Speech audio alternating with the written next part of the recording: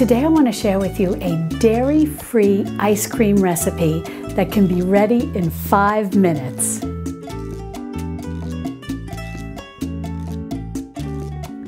Hi sweet friends, I'm Mary and welcome to Mary's Nest, where I teach traditional cooking skills for making nutrient-dense foods like bone broth, ferment, sourdough, and more. So if you enjoy learning about those things, consider subscribing to my channel and don't forget to click on the little notification bell below. That'll let you know every time I upload a new video. Well, this recipe couldn't be easier.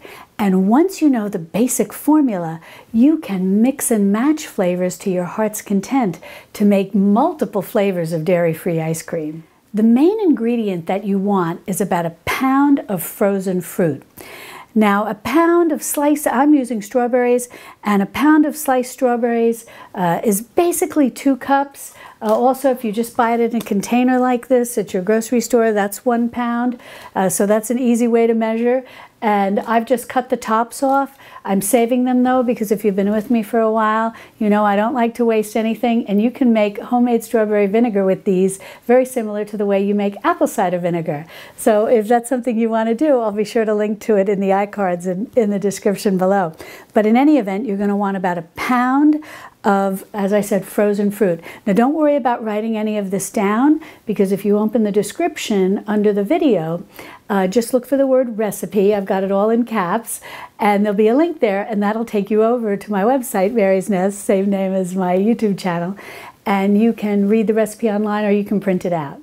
Now, in the case of this fresh fruit, all I did was wash and slice the strawberries into about thirds uh, so that they would freeze quickly. Uh, but you can also use frozen fruit. Uh, you can use canned fruit that you then go ahead and freeze.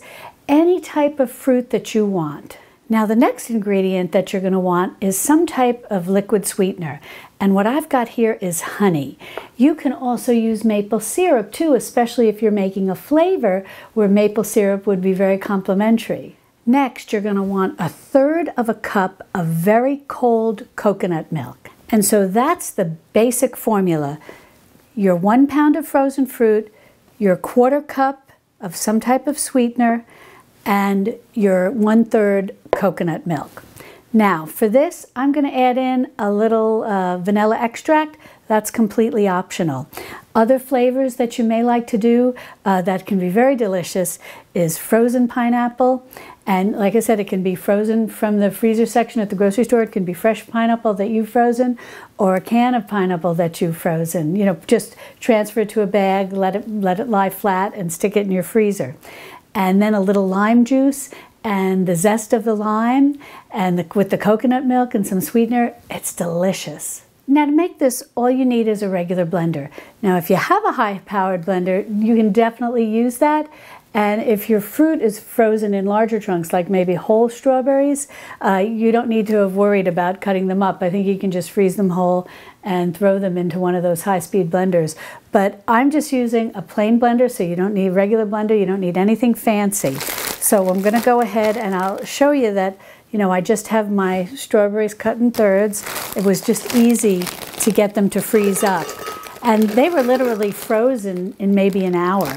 But this is all gonna come together in five minutes.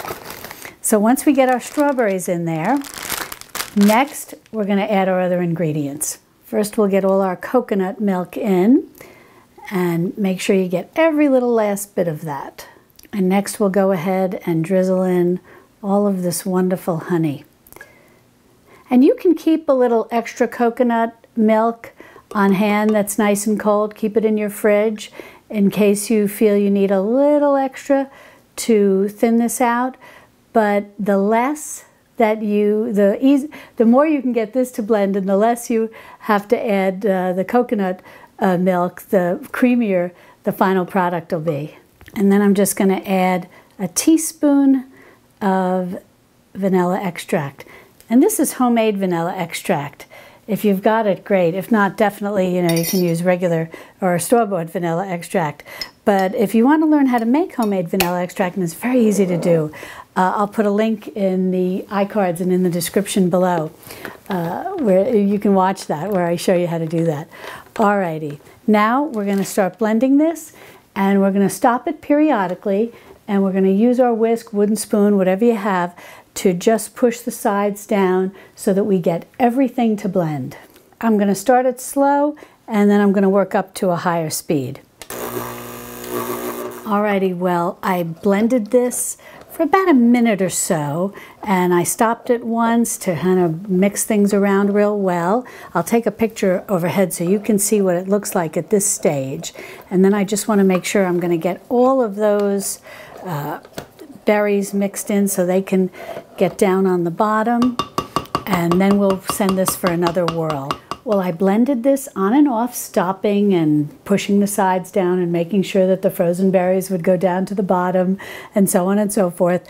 And after about five minutes, you're just going to have this beautiful, like soft serve ice cream. And I'll take a picture and overlay it so you can see what it looks like here in the blender.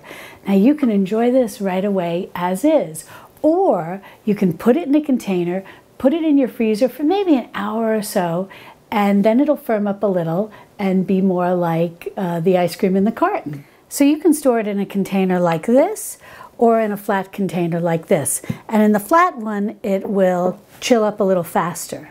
Let's take a little taste to see how it came. Look, it's a gorgeous color. Mmm, mmm, mmm. Well, that's just wonderful. And you really don't notice the taste of the coconut milk at all if you're uh, the least bit concerned about that. It's actually quite lovely. Well, I'm going to go ahead and pour it in here, and then we'll put it into the freezer, and then we'll scoop some out. Well, I chilled this in the freezer for about an hour, and so we'll see how it is now. But remember, you can eat it right as a nice soft serve once you've thoroughly blend it. Uh, and you can just enjoy right then and there. But if you want to put it in your freezer and make it a, a little harder, then you can do it like this.